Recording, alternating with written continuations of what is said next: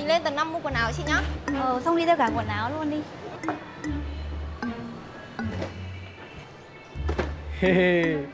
Chào em. Em ơi Nhà em có bán rượu không? Anh say quá. Đi giờ à? Đi cái này lâu chưa? Hôm nay quay trường uống thuốc à? Hiểu cả vấn đề ghê. Hai con dở hơi đấy. Tưởng rất là hay ấy. Máu lắm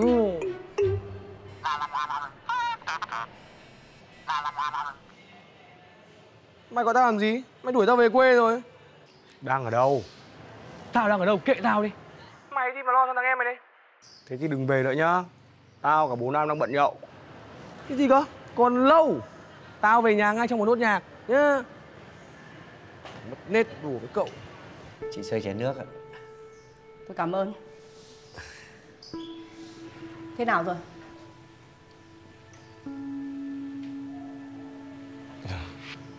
Cô chờ chút Thằng này nó nghe thấy ăn là phi về luôn mà. Mà cháu đã hứa với cô thế nào rồi? Tại sao đến giờ này nó vẫn lông bông chơi bời ở trên này thế? Khổ quá. Cháu với bố Nam đã khuyên can nó hết lời rồi Thậm chí không cho nó ở. Mà nó có chịu về đâu. Chị cũng đừng quá khắt khe với thằng Bảo. Nó lên đây chơi Những cái đám thằng Dũng, thằng Hùng cũng bận đi làm suốt đấy mà. Mà nó ở đây chán thì nó khắc tự về thôi. Chú không phải nói đỡ cho nó. Chú không biết tính nó cho nên chú mới nói thế thôi ạ. Chứ còn tôi này Tôi đẻ ra nó Tôi biết từng chân tơ kẽ tóc của nó. Trên đầu nó có bao nhiêu sợi tóc Trong óc nó đang nói dối điều gì là tôi biết hết. Ở quê tôi quản chặt như thế mà sảnh năm cái nó đã gây chuyện rồi. Huống hồ thả nó lên thành phố lớn thế này Bao nhiêu thói chơi bời hư hỏng bày sẵn ra như thế Làm gì nó chả lao vào cho còn thiêu thân ý. Mà cái thằng Hùng nữa Dạ. Tại sao bằng tuổi nó Mà thằng này nó tu trí làm ăn Nó ngoan ngoãn tử tế như thế? Cái thằng Bảo nhà tôi không biết đến bao giờ Nó mới chấm dứt được cái thói chơi bời hư hỏng lông bông cơ chứ. Cô ơi Trường hợp của cháu là bị chín ép. Chứ nếu mà cháu sung đúng lứa tuổi Thì cháu cũng vô tri không khác gì thằng Bảo. Cháu không phải bênh nó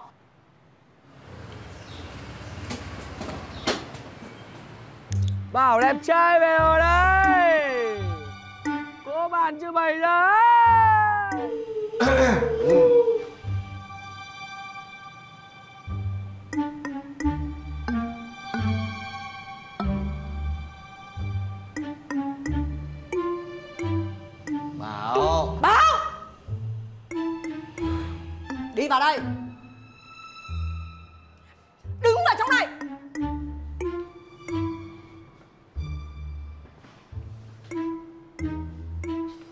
Chơi tao nhá Cái thằng hư đốn này Tao biết ngay là mày lại đi tiêu tiền mà. Đây à? Khổ quá. Con mang ít quần áo lên quá Nên đi mua thêm ít đồ. Mà Con mua cả quà cho mẹ yêu đấy. Đây Này, quà đâu? Ôi dồi ôi Quà đây hả? Cái này là tao Mày tiền mồ hôi. Ấy, sữa mẹ. của mày đi Đấy bố thấy chưa? Mẹ con đồng tí ầm ĩ cả lên. Lúc nào cũng phải nói to mới chịu được cơ. Như thế này thì con bày tỏ với mẹ kiểu gì? Xong rồi hai mẹ con lại mang tiếng là khắc khẩu. Cái thằng kia mày đứng lại không mà thằng Tao- dạy Đi chuồn à, mau xin lỗi mẹ mày đi. Xin lỗi không có ích gì nữa, cho tao thoát thân đã. Tao vẫn dạy kia nhá. Ôi Tao phải cho mày một trận. Hôm nay tao mà không đánh cho mày Tao phải là cái mày đấy nhá. Không sao, mẹ mày đứng trượt mà, kêu to lên, kêu to lên sao Kêu, kêu lên. Ai? Cháu có làm sao không? Có làm sao không? Dạ không ạ. À, à, ôi, mẹ đánh chết thằng Hùng rồi. Tôi chết rồi, con xin lỗi, con xin lỗi, con không cố ý. Ôi, cháu có sao không? Khổ thân đau không? Còn có sao đâu. Lúc nãy thằng Bảo nó ép con ăn vạ đấy chứ. Ai Ai ơi Bố mẹ đã dạy con thế nào hả? Mày đúng là nước đổ đầu vịt, trứng nào tật đấy. Mày hôm nay nhá, mẹ phải đánh mày một trận cho chưa cái tính đấy đi nhá. Mẹ đừng dùng những lời lẽ sát thương nữa. Mẹ hãy hành động ngay và luôn đi. Con ra giọt muối vào lòng mẹ. Thì mẹ cứ đánh con cha lòng Cú soạn lại. Thằng này lẽ ra phải cho nó đi làm làm diễn viên. Nhưng mà bài này còn là hiệu quả lắm đấy nhá Cô Châu có dám xuống tay với nó đâu. Lạ thật. Các con không hiểu đâu. Khi nào các con phải làm cha làm mẹ các con mới biết. Cho dù có tức giận đến đâu ấy thì cũng không cha mẹ nào có gan đánh đập con mình đâu.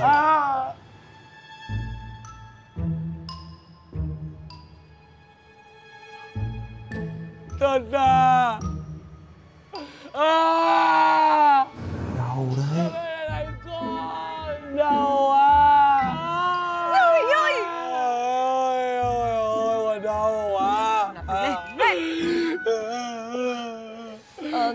xin lỗi chú. Mấy hôm vừa rồi nó ở đây nó làm phiền chú quá. Tôi xin lỗi. Ờ, Còn bây giờ tôi xin phép đưa nó về quê. Con đau quá. Đi ra đồ phản bội. Báo. Vào đây xin lỗi. Và chào chú Nam cho tử tế đã. Xin lỗi trước hay là chào trước Tùy. Xin lỗi con chào bố Bình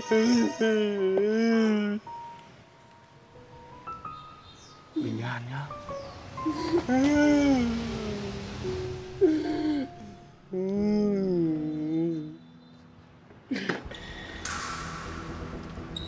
Tâm tấn.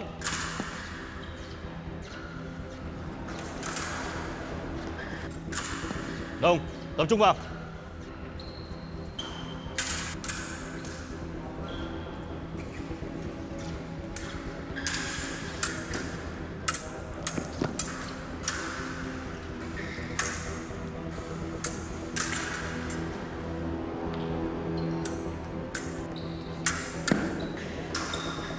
Dừng lại.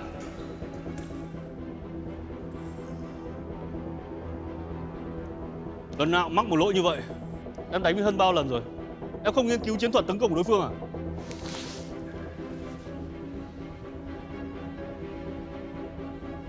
Dạ Có ạ. Vậy điểm mạnh của Hân là gì? Dạ Tốc độ ạ.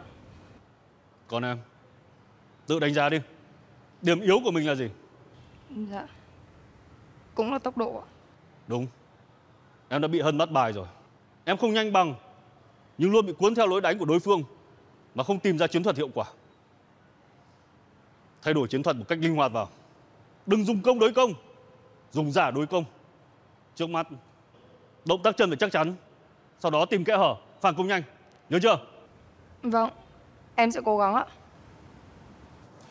Thầy ơi Chắc Đông không coi em là đối thủ. Nên không chịu nghiên cứu em đấy thầy ạ. Thôi nào? Chỉ còn hai tháng nữa là vào giải rồi. Tập luyện cho nghiêm túc vào. Rõ chưa? Dạ, vâng ạ. Đừng có dạ vâng rồi để đấy. Dạ vâng. Dạ vâng ạ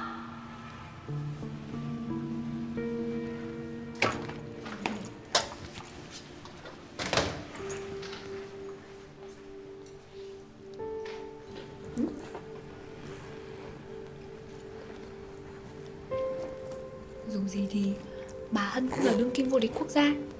Chị thua bà ấy cũng là điều đương nhiên mà. Em biết cách an ủi phết nhỉ Không hề. Nhưng mà biết đâu năm nay chị lại giành huy chương vàng hay sao? Em tưởng có mỗi mình cái Hân là đối thủ nặng ký à? Chị còn phải vượt qua cả em nữa đấy. Em làm sao dám đối đầu với các chị đại? Các chị em ơi Tối nay là sinh nhật tôi. Đội mình đi quẩy nhá. Đi luôn. Tôi đã xin phép Và được thầy đồng ý rồi. Ui, ở đâu đấy mày? Ba Black Sheep. Tối nay có giai đẹp. Đúng là Bao học trò cưng của thầy có luôn. khác. Được ưu ái thật đấy. Mời rồi đấy nhá. Nga.